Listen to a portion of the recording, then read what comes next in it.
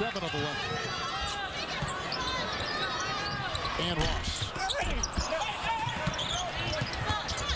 Smith finding Thompson inside.